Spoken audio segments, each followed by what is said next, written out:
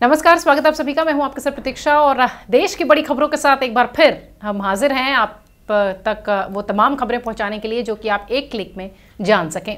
आज की सबसे बड़ी खबर बीजेपी के खेमे से है। बीजेपी ने 100 सांसदों की सूची बनाई है जो कि अपना परफॉर्मेंस अच्छा नहीं दे रहे हैं, जो कि अपना काम अपने क्षेत्र में अच्छा नहीं कर रहे हैं।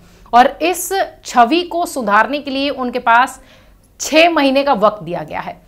आपको याद होगा कि सूरजकुंड में एक बैठक अभी संघ और बीजेपी के बीच हुई थी, जहाँ से क्या कुछ बातचीत हुई, ऐसा कुछ खास तो नहीं निकला, लेकिन सूत्र ये कह रहे हैं कि उस बैठक में संघ ने बीजेपी से बातचीत कर यह तय किया कि जो सांसद अपने इलाके में प्रचलित नहीं है, जिन सांसदों ने अपने इलाके में काम नहीं किया है, उन तमाम सांसदों को फ़िलहाल अगले साल चुनाव का टिकट ना दिया जाए।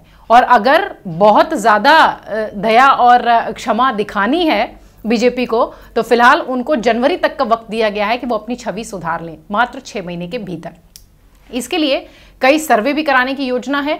इसके लिए नमो ऐप के ज़रिए खुद प्रधानमंत्री मोदी भी उन इलाकों में, उन सांसदों के क्षेत्र में, संसदीय क्षेत्र में बातचीत भी कर सकते हैं। ऐसी खबर फ़िलहाल अभी निकलकर सामने आई है। इस खबर से जुड़ी जो अपडेट्स होगी हमारी कोशिश होगी हम आप तक पहुंचाएँ। अगली खबर का रुख कर रहे हैं। अगली खबर घाटी से है। आपको बताएँ कि आ, सेना के जो लेफ्टिनेंट जनरल ने अपनी तरफ़ से ए के भट्ट साहब ने ये क्लियर किया है कि तकरीबन 250 आतंकी अभी भी घाटी में सक्रिय हैं और बड़ी हमले की फिराक में हैं।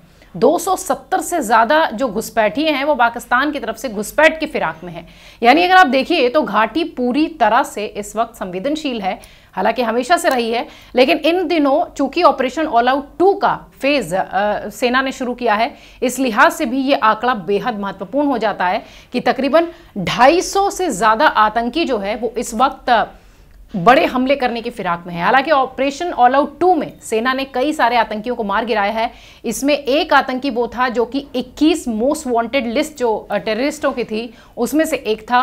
एक किसी आतंकी ने सरेंडर भी किया है, हालाँकि उसकी पहचान गुप्त रखी गई है। लेकिन जिस तरीके का काम घाटी में इस वक्त हो रहा है, इस लिहाज से लेफ्टिनेंट जनरल ए के भट्ट ने जो बात कही है, उस पर संजीदगी से अगर सोचा जाए तो वाकई सेना को बहुत ज़्यादा मेहनत करने की ज़रूरत है, क्योंकि ढाई सौ से ज़्यादा आतंकी इस वक्त सक्रिय हैं, घाटी में और बड़े हमले की फिराक में है। ये जानकारी अभी मिल पाई है। चलिए, अगली खबर का रुख कर रहे हैं। आपको बता दें कि आम आदमी पार्टी बनारस में मोदी विरोधी रैली करने जा रही है। यशवंत सिन्हा और शत्रुघ्न सिन्हा, बीजेपी का ये वो दो नाम जो हमेशा से उनका विरोध करते रहे हैं। हालाँकि यशवंत सिन्हा को अगर अलग कर दिया जाए तो शत्रुघ्न सिन्हा अभी भी पार्टी के साथ हैं। और लगातार बीजेपी से मुखर होकर बीजेपी की ही आलोचना करते रहे हैं, तमाम मंच पर बीजेपी का विरोध करते रहे हैं। लेकिन इस वक्त खबर यह है कि आम आदमी पार्टी की ये बड़ी रैली जो कि बनारस में होने जा रही है, मोदी के विरोध में उसमें शत्रुघ्न सिन्हा साहब शामिल होने जा रहे हैं। लगातार वो लालू प्रसाद यादव के दोनों सुपुत्रों की तारीफ़ करते रहे हैं।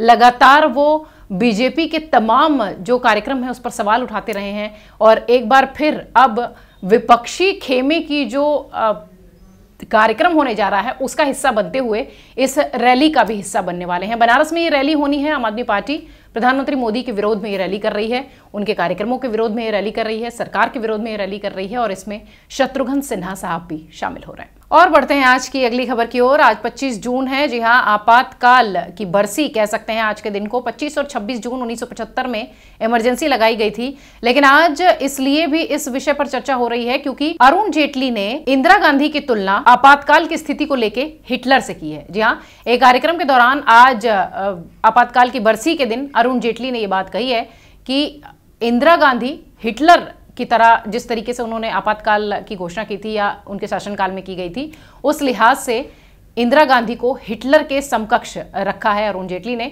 देखना है कि कांग्रेस के खेमे में इसे लेकर किस तरीके की बातचीत होती है और कैसा जवाब दिया जाता है बीजेपी को। अगली खबर का रुख कर रहे हैं। आपको बता दें, सैफुद्दीन सोज लगातार पिछले दिनों कश्मीर को लेकर, अपने बयानों को लेकर चर्चा में रहे हैं।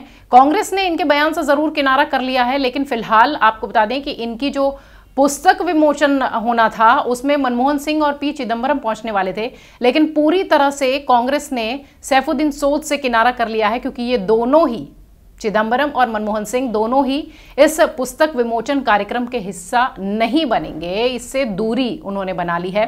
कांग्रेस लगातार इस विषय पर सैफुद्दीन सोज के बयान पर घिरती नज़र आ रही थी। बीजेपी लगातार हमलावर रही है।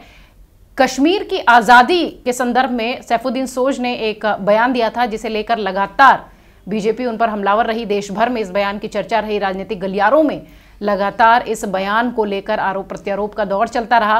कांग्रेस, जब घिरने लगी तो कांग्रेस ने इसे बताया कि ये उनका व्यक्तिगत विचार हो सकता है और पूरी तरह से सैफुद्दीन सोद से किनारा कर लिया। इस बात का स्पष्टीकरण इस बात से भी हो जाता है कि पी चिदम्बरम और मनमोहन सिंह इनके पुस्तक विमोचन कार्यक्रम में जाने वाले थे, जो कि अब नहीं जाएँगे। यानी पूरी तरह से कांग्रेस ने सैफुद्दीन सोद से किनारा कर लिया है। तो ये थी आज देश की बड़ी खबरें जो हम आप तक पहुँचा रहे थे। कोशिश हमारी होती है एक क्लिक में आप तक वो खबर पहुँचे। आपके फ़ोन तक वो खबर पहुँचे जो कि देश दुनिया में चर्चा का विषय बनी हुई है। चलिए तो आज फ़िलहाल यही रुक रहे हैं। आपका आने वाला कल आज के दिन से कहीं ज़्यादा बेहतर हो। इन्हीं शुभकामनाओं के साथ धन्यवाद, नमस्कार।